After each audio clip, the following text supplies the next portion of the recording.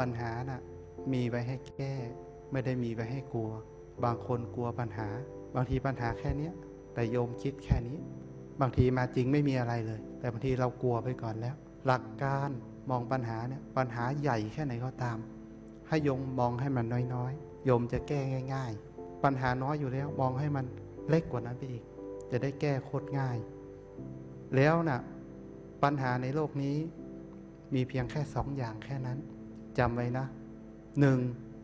ก็คือปัญหาแก้ได้สองก็คือปัญหาแก้ไม่ได้ ปัญหาไหนแก้ได้ ปัญหานั้นต้องใช้ความคิด ต้องใช้สติ เพราะว่าต้องหาวิธีแก้โยมก็มาแยกปัญหาเป็นข้อข้อถ้าปัญหานั้น ใช้เงินแล้วจบโยมก็ใช้ซะถ้าปัญหานั้น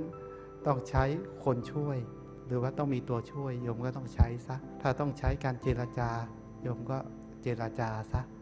ถ้าปัญหานั้นต้องอาศัยความนิ่ง ถ้าเรานิ่งเดี๋ยวมันก็หายไปเองโยมก็ใช้ซะปัญหาไหนแก้ได้ส่วนมากปัญหานั้นจะเครียด เพราะว่าเราต้องหาวิธีที่จะแก้ปัญหา แต่ถ้าโยมแก้ถูกจุดปุ๊บมันก็หายเลย อันนี้คือปัญหาแก้ได้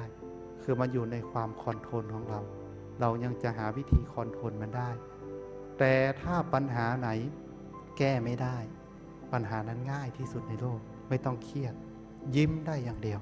หัวเราะได้อย่างเดียว เอาโยมเครียดไปได้อะไรบ้าง ถามว่าโยมแก้ได้ไหม แก้ไม่ได้ คนอื่นช่วยแก้ล่ะอ๋อก็แก้ไม่ได้ มัน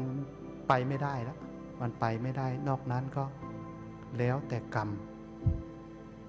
เราคอนโทรลไม่ได้ ยิ้มได้อย่างเดียว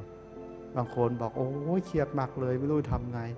หลวงพี่แก้ได้ไหมแก้ไม่ได้ แล้วคนอื่นช่วยได้ไหมช่วยคนอื่นช่วยไม่ได้